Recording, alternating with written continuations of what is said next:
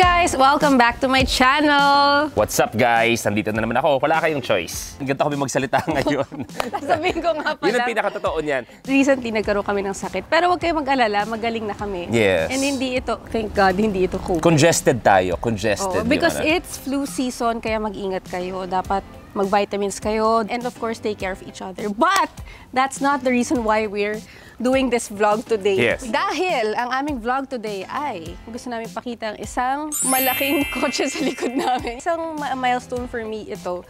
Kasi gusto ko lang din i-share na nung nagte-taping pa ako, nung gumagawa pa ako ng mga teleserye, pangarap kong bumili ng ganitong kotse at magpa-customize. Pero dahil hindi ko pa kaya noon, siguro kasi mas inuna ko yung family ko kaysa sa sarili ko. Kaya naisip ko sayang naman sa pera kung magte-taping ako tapos lagi naman ako nasa set. Hindi ko naman kailangan ng malaking van or ng customized na van. So pinagpaliban ko muna yun. But I think ito yung reason kung bakit naisip kong bumili at magpa-customize ng van is because of Peanut. Baby Peanut. Si Baby Peanut lang pala ang makakapag-push sa akin bumili ng Yes. yes. So, huwag na natin patagalin pa. Let's start na. Ipakita na natin ang ating bagong Come. bahay on the go. Come, or on come. wheels ba? Ayan. Feeling kinda lost with you not around. A piece of me is gone now that you're out of town.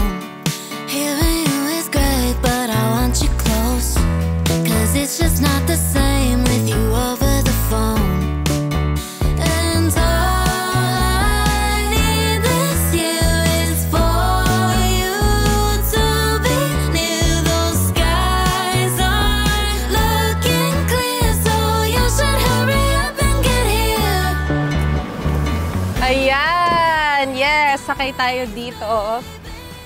At, syempre, si How din sasakay. Yes. Actually, itong van na to, customized to by Tuned In Style. So, si John, John is the best. Siya Galing. talaga yung nag-design nito, siyang nag-isip ng seats. Itong seats na ito galing sa Primera klase. Tuned In Style ng Primera klase. And syempre, hindi mawawala yung napaka-high-tech na seats.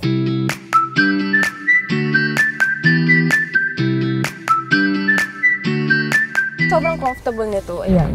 Yan. Diba? Dahil nakikita nyo, may TV dito. Ipakita natin kung anong mga pwedeng gawin sa TV. Ayan. Ayan. Hindi mawawala yung switch ng aircon. Tapos, si How How, ipapakita niya yung TV. Yan. So, ah, Ano bang nailagay ni John dito? Actually, van ba talaga natin to, How How? Kasi hindi Yes. namin gamay talaga yung Ginagamay pa. na to. Ginagamay pa lang namin. Kasi kaka-receive lang namin ito a few days ago. tapos ang pinagawa namin dito sa TV namin, eh, may media library na siya. Tapos ang pwede nilang i-play ay uh, Runin tsaka Crazy For You. Para kahit papaano may makadagdag na manood ng mga shows na yon. Runin, Crazy For You. Sino Sana. bida ng mga yon? Kahit nung magte-teleserye ako, never ako nagkaroon ng ganitong van. Oo, talaga. Yun nga, eh, gusto ko din ikwento din. Kaya Never. kanina ganun yung intro ko. Kasi never din talaga ako nagkaroon ng ganitong van. Kasi parang for me, it was a waste of space. Kasi syempre Oo. yung mga locations din sa mga shooting or tapings, ano eh, ma- Medyo liblib, rough road. Rough road, masikip yung parking. So parang medyo hindi siya practical for me na magpa-customize pa ng ganito. Oo. But then yun nga, parang I realized na At sobrang mahal dati. sobrang mahal. Sobrang mahal dati. At saka, sobrang mahal dati. Hindi ko afford din talaga dati. Oo, How-how. dati. Pero, pinag-ipunan ko talaga to kasi sabi ko, one day, pag nagkaroon na kami ng baby, Yes. gusto ko na kahit papano, maging comfortable kami. May toilet, may, or may CR, tapos yung seats, comfortable. Tapos si How-How din, pag meron siyang malalayong work, pwede niyang gamitin to. Baka kasi sabi ng iba, parang medyo mali yung timing, hindi na siya nagtitaping, tapos bigla siya nagkaroon ng ganito. Wala kayong wala, pake. Wala yun sa pagtitaping, nandun yung sa rason kung bakit. At ang rason talaga namin is because we are starting our family. Yes. Diba? Siyempre, pakita din natin to. Ayan. Oh. Ayan, di ba? Hi! Hi, Momski! Charot! Charot yan. Tapos pag gusto mo magbihis or, di ba, anything, pwede mong isara siya or pag masyadong mainit. Tapos dyan din. Tapos ito, ito pa pala. May mga saksakan. USB, Kompleto yan. cord. Kung dyan may Yan. saksakan, dito may saksakan ng na gwapo. Tapos ito yung mga coaster. Ayan.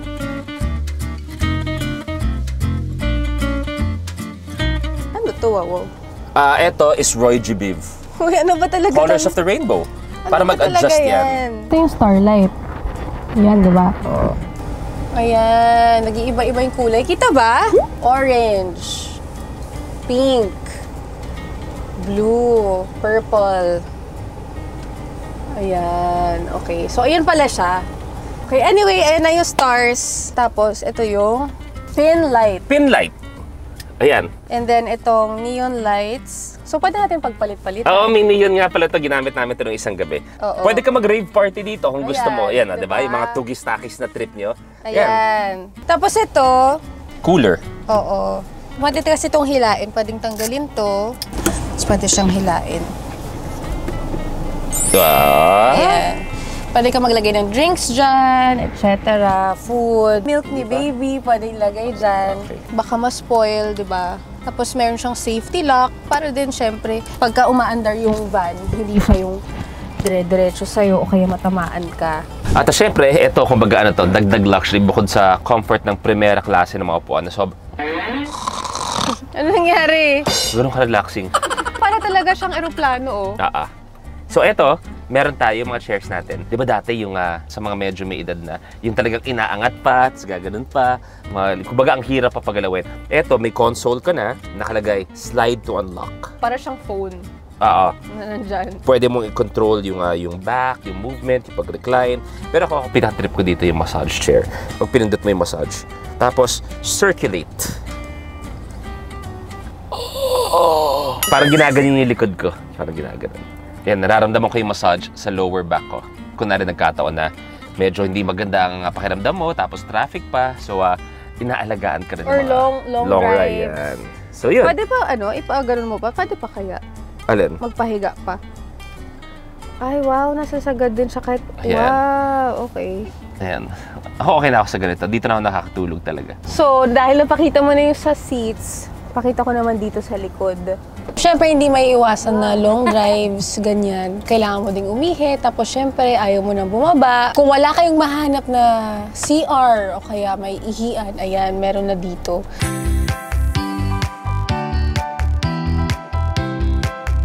So, pakita natin. Merong maliit na toilet, tapos may sink, may aircon din pala. Baka mamaya init na init ka na. Si CR ka, tapos init na init ka na. Uy, may bidet pala, love! May bidet? May bidet, nakakatawa. May dalawa kasi pag kunwari nag-out of the country kami or out of town, palaging yun yung una naming hinahanap. Bidet. Yung bidet. Hindi, tsaka yung gusto natin sa bidet, yung eksakto talaga yung buga. Kasi may mga buga ng bidet na nakita ko na yung mga ninuno ko. Ang gusto ko lang naman, maghugas ng maayos. Pero yung pagkagano naman ng bidet, Psst, yung ang daming alaala bumalik. Ha! Yung akala mo umabot yung tubig hanggang dito. May bidet naman sobrang hina.